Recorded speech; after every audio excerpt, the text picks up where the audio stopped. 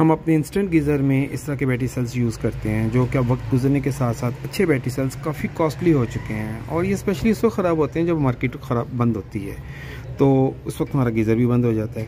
हम ऐसा क्या करें कि हमारा गीज़र भी बगैर रुकावट के चलता रहे और हमें बार बार ख़र्चा भी ना करना पड़े? तो क्यों ना हम इसको चार्जेबल बैटरी के साथ कन्वर्ट कर दें और अपने गीज़र को चार्जेबल बना लें और मोबाइल के चार्जर से जस्ट इसको चार्ज कर लिया करें। अगर आप इसके ऊपर वीडियो चाहते हैं तो कमेंट्स में लिखिए। बहुत जल्द हमारे चैनल पे आपको ये वीडियो देखने को मिलेगी।